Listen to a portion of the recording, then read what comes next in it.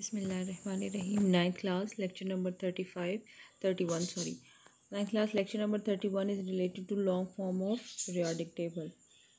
हम periodic table के बारे में पढ़ रहे थे चैप्टर नंबर थ्री जिसके अंदर हमने उसमें आने वाली डिफरेंट चेंजेस को देख लिया उसके लॉन्ग फॉर्म को आज हम डिस्कस करेंगे कि वो क्या है इससे पहले हमने मेंडलीफ पीरियोडिक टेबल पढ़ा था जिसमें हम मेंडलीफ पीरियोडिक लॉ और मॉडर्न पीरियोडिक लॉ का डिफरेंस देख कर आए थे आज हम कुछ इंपॉर्टेंट एम और शॉर्ट क्वेश्चन जो हैं, उनको डिस्कस करेंगे। Long form of periodic table अब पेज नंबर फोर्टी सेवन से रिलेटेड है। इसमें वो आपको ये बताएगा कि जो पीरियोडिक टेबल आजकल हम पढ़ रहे हैं, उसको हम लॉन्ग फॉर्म कहते हैं, यानी जितना ज़्यादा वो लॉन्ग हो सकता था, जितने मैक्सिमम एलिमेंट उसमें आ सकते थे, उतने रख दिए गए हैं। और उसके अंदर कौन कौन सी इंपॉर्टेंट खसूसियात हैं, उसको आज वो डिस्कस करेंगे। सो लेट सी सबसे पहली बात तो वो कहते हैं कि arrangement of element periodic table के अंदर जो है, वो हमने लास्ट टाइम भी बात कर ली थी एटॉमिक नंबर के इंक्रीजिंग ऑर्डर पे डिपेंड करते हैं। यानी एलिमेंट का पीरियोडिक टेबल में अरेंज होना इंक्रीजिंग अटोमिक नंबर की बेस है।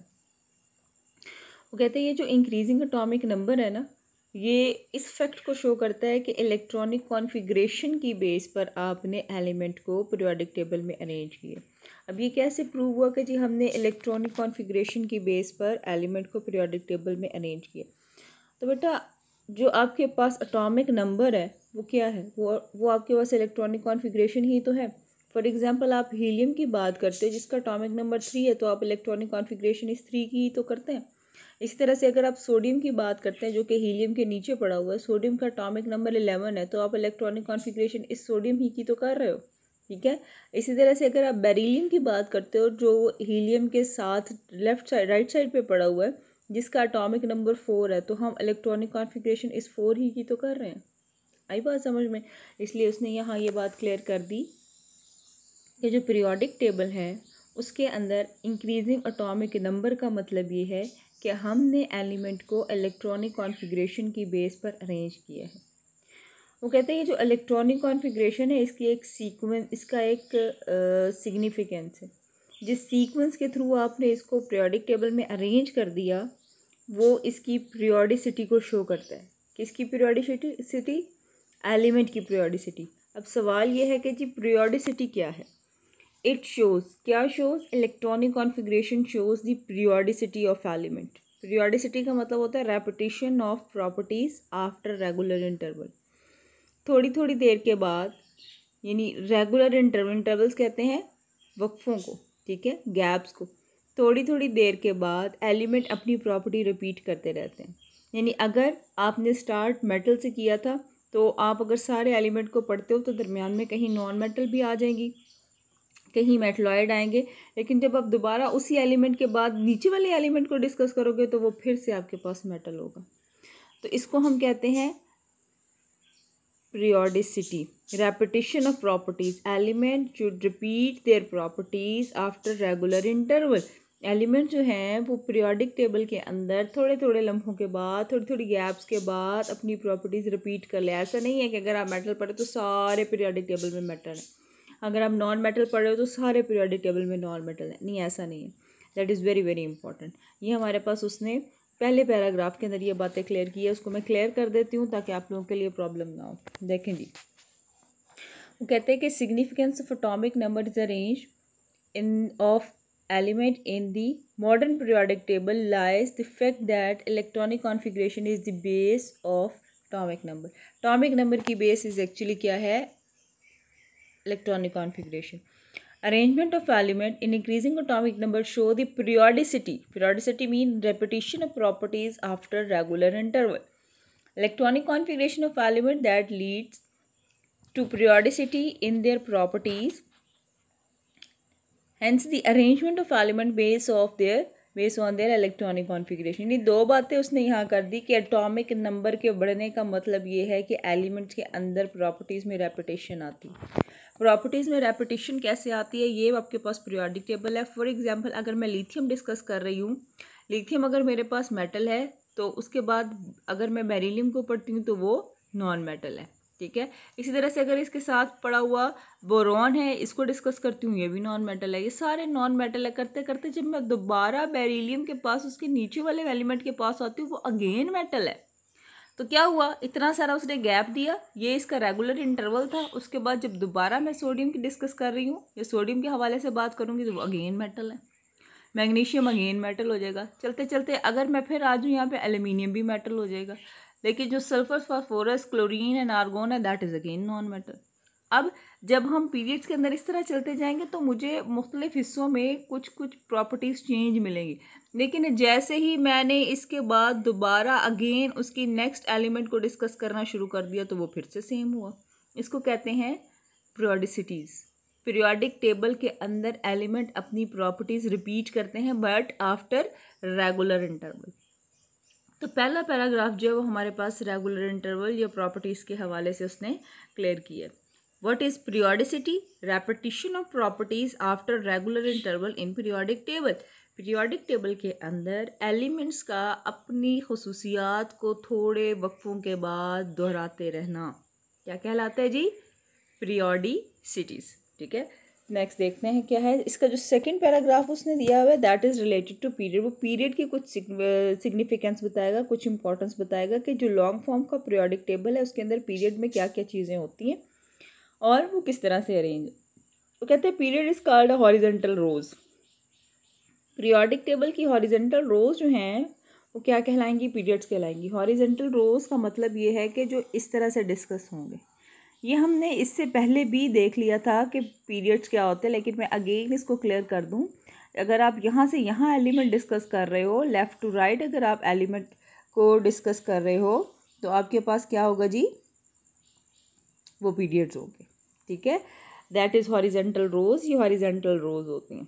फिर वो कहते हैं कि कॉन्टीन्यूसली चेंजिंग इलेक्ट्रॉनिक कॉन्फ़िगरेशन अगर हम यहाँ से यहाँ एलिमेंट डिस्कस करते जा रहे हैं तो मुसलसल एलिमेंट के अंदर इलेक्ट्रॉनिक कॉन्फ़िगरेशन चेंज आती है, क्योंकि एटॉमिक नंबर चेंज होते चले जाते हैं तो आपके पास मुख्तलिफ़ तरह की इलेक्ट्रॉनिक कॉन्फ़िगरेशन आती है। अच्छा ये जो इलेक्ट्रॉनिक कॉन्फ़िगरेशन चेंज है इट मीन टू से valence shell electronic configuration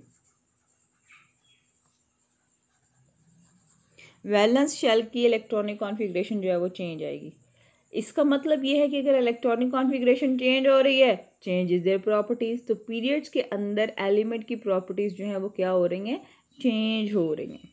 Valence shell electron decide the position of element period के अंदर मौजूद एलिमेंट की इलेक्ट्रॉनिक कॉन्फ़िगरेशन अगर की जाए तो उसके वैलेंस शेल में जो इलेक्ट्रॉन होते हैं वो ये बताते हैं कि ये एलिमेंट पीरियोडिक टेबल के किस पीरियड या किस ग्रुप से ताल्लुक़ रखते हैं।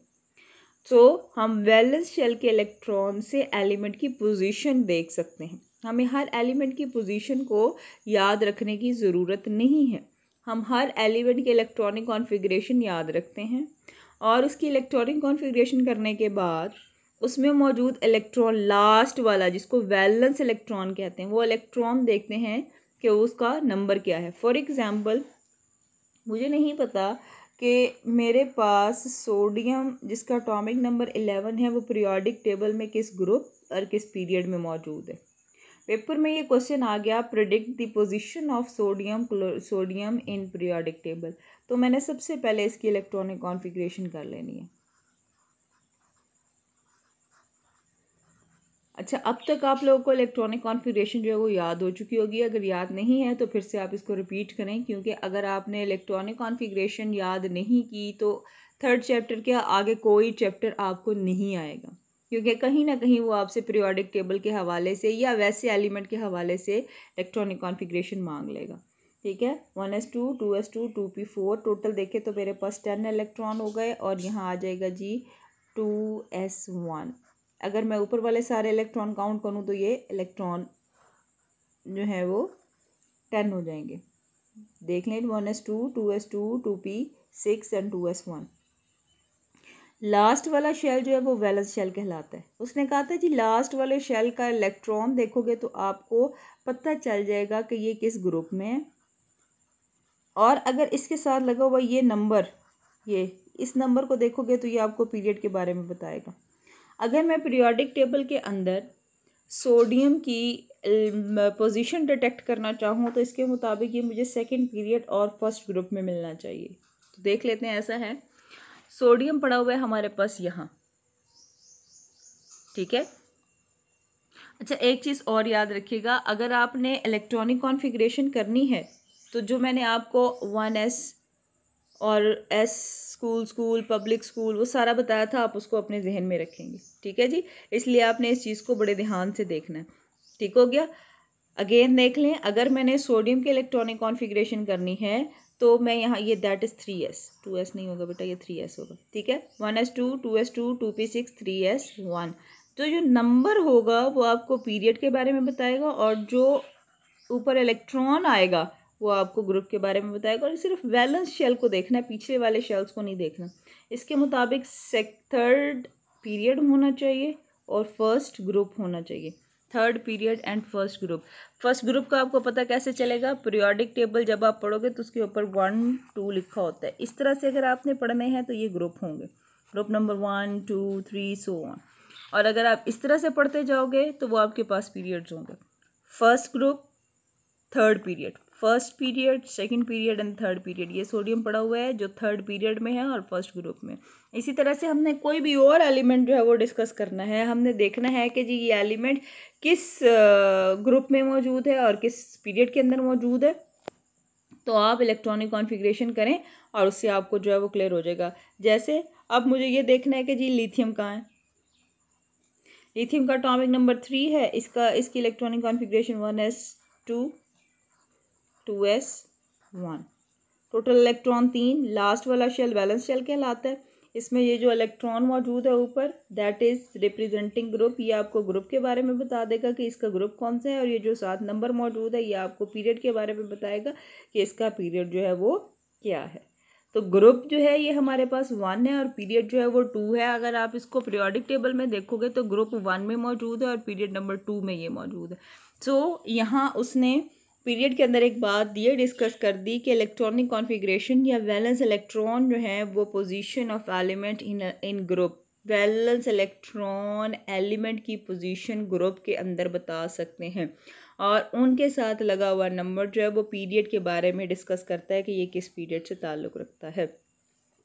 इसके बाद है जी ग्रुप्स कहते हैं लॉन्ग फॉर्म के जो ग्रुप होते हैं, वो वर्टिकल कॉलम्स होते हैं, जिनको हम लेफ़्ट टू राइट अरेंज करते हैं। लेफ़्ट टू राइट का मतलब ये कि यहाँ से शुरू होते हैं one two three four five six करते करते ये यहाँ तक पहुँच जाते हैं। दैट इज़ टोटल एटीन और ये हमारे पास टोटल एटीन होते हैं। इनके ऊपर उसने नंबर लिखे हुए हैं।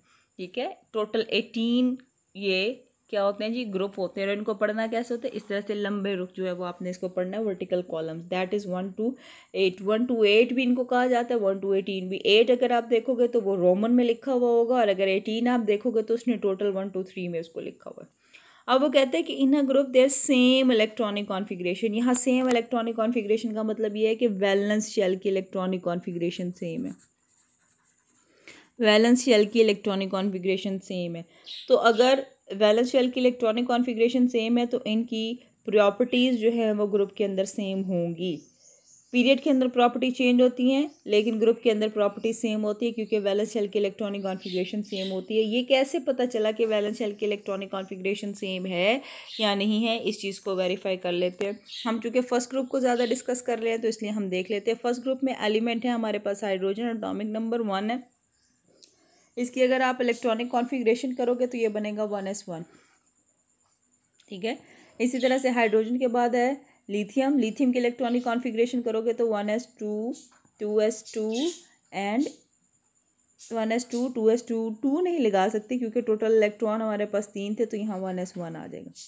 सोडियम करोगे, सोडियम अटोमिक अब ये मैं बात किसी कर रही हूँ, ये मैं बात कर रही हूँ ग्रुप की, ऊपर से नीचे आता है, ऊपर से नीचे तीन एलिमेंट डिस्कस किए, पहला जो है वो मेरे पास वन एस वन आ गया, दूसरा जो है one S two two S one आ गया, तीसरा इलेक्ट्रॉन जो है उसमें एलेवन है तो उसको जब आप लिखोगे one S two two S two two P six and three S one three S one. अगर आप इलेक्ट्रॉनिक कॉन्फ़िगरेशन देखो देखो, इसके लास्ट में भी एक इलेक्ट्रॉन इसके लास्ट में भी एक इलेक्ट्रॉन इसके लास्ट में भी एक इलेक्ट्रॉन तो सबकी इलेक्ट्रॉनिक कॉन्फ़िगरेशन सेम हो गई। ग्रुप के अंदर वैलेंस शेयर की इलेक्ट्रॉनिक कॉन्फ़िगरेशन सेम होती है। आप जब भी इनको इलेक्ट्रॉनिकली कॉन्फ़िगरेट करोगे, इनके लास्ट वाले शेल में सेम सेम इलेक्ट्रॉन आ रहे होंगे। अगर आप सेकंड वाले ऑर्बिट की बात कर सेकंड वाले ग्रुप की बात करते हो तो उसमें भी ऐसा ही होगा। ये आप लोगों ने खुद वेरीफाई करके देख लेना है। इलेक्ट्रॉनिक कॉन्फिग्रेशन कीजिएगा। हर ग्रुप में से दो दो एलिमेंट उठा लें और उनकी इलेक्ट्रॉनिक कॉन्फिग्रेशन करें और उसको वेरीफाई करें कि वाकई हमारी बुक में जो बात लिखी है वो सही है या नहीं है। ठीक है? मैंने आपको फ़र्स्ट ग्रुप के बारे में बता दिया। अब सेकंड ग्रुप के कोई से दो एलिमेंट उठा ले फ़र्स्ट टू उठा ले थर्ड ग्रुप के फ़र्स्ट टू उठा ले फोर्थ के इसी तरह से करते करते सारे ग्रुप्स के दो दो एलिमेंट उठाते जाएँ और उनके इलेक्ट्रॉनिक कॉन्फ़िगरेशन करके देखें, ताकि ये बात जो उसने यहाँ मेंशन की है कि जी ग्रुप्स के अंदर मौजूद एलिमेंट जो है उनकी इलेक्ट्रॉनिक कॉन्फ़िगरेशन सेम होती है। बेटा इलेक्ट्रॉनिक कॉन्फ़िगरेशन सेम होने का मतलब ये नहीं है कि सारे के सबके नंबर एक जैसे हैं। Same electronic configuration mean they show the same valence shell electronic configuration. Last वाला जो shell होगा, उसमें नंबर की तादाद बिल्कुल एक जितनी होगी। और एक बात याद रखिए, जिस ग्रुप का मेंबर आप लोगे, उस एलिमेंट के वैलेंस शेल में इलेक्ट्रॉन उसके ग्रुप जितने देखें मैंने ग्रुप वन लिया, उसके इलेक्ट्रॉन में वन वन आ रहा था। अगर आप ग्रुप टू लोगे, उसके वैलेंस शेल में टू आएगा। आप ग्रुप थ्री लोगे, उसके वैलेंस शेल में थ्री आए, और सारे एलिमेंट के वैलेंस शेल में थ्री आएगा। दैट इज़ वेरी इंपॉर्टेंट कि ग्रुप में मौजूद एलिमेंट की इलेक्ट्रॉनिक कॉन्फ़िगरेशन सेम होती है वैलेंस शेल की इलेक्ट्रॉनिक कॉन्फिग्रेशन सेम होती है। जिसकी वजह से इनकी प्रॉपर्टीज़ सेम हो जाती हैं, लेकिन ग्रुप के अंदर ये ऑपोजिट होता है। ना तो वैलेंस शेल की इलेक्ट्रॉनिक कॉन्फ़िगरेशन सेम होती है और ना ही प्रॉपर्टीज़ सेम होती हैं। तो ये अक्सर शॉर्ट क्वेश्चन जो है वो पूछ लिया जाता है कि ग्रुप्स के अंदर प्रॉपर्टीज़ जो हैं वो सेम क्यों होती हैं? Because they show same valence shell electronic configuration और पीरियड्स के अंदर एलिमेंट की प्रॉपर्टीज़ चेंज क्यों होती हैं? Because it is this this shows different valence shell electronic configuration period के अंदर एलिमेंट की वैलेंस शेल की इलेक्ट्रॉनिक कॉन्फ़िगरेशन चेंज होती है। क्लियर हो गया? बस आज का टास्क आपका यही है। आपने इसको बड़े ध्यान से पढ़ लेना है। अंडरलाइन कर लेनी है। कुछ चीज़ें ये जैसे मैंने आपको पेज नंबर फोर्टी सेवन के साथ रिलेट करके चीज़ों को बता दिया है। ठीक हो गया? ये ये वाला जो ग्राफ है, ये उसने दिया हुआ है पीरियड के हवाले से। This paragraph is related to period and significance of periods ठीक है? And this paragraph is related to this two paragraph is related to group and the significance of group ठीक है? जो पॉइंट्स हमने यहाँ क्लियर किए हैं। आज का आपका टास्क ये है कि आपने एलिमेंट्स और ग्रुप्स यानी जो एलिमेंट्स ग्रुप में मौजूद हैं और जो एलिमेंट पीरियड में मौजूद हैं, उनमें से कुछ कुछ एलिमेंट्स उठा के उनके इलेक्ट्रॉनिक कॉन्फ़िगरेशन करके ये चीज़ वेरीफाई करनी है कि क्या वाकई पीरियड्स के अंदर वैलेंस शेल की इलेक्ट्रॉनिक कॉन्फ़िगरेशन चेंज होती है और ग्रुप्स के अंदर वैलेंस शेल की इलेक्ट्रॉनिक कॉन्फ़िगरेशन सेम होती है। ठीक है बेटा? ओके बेटा good luck and thank you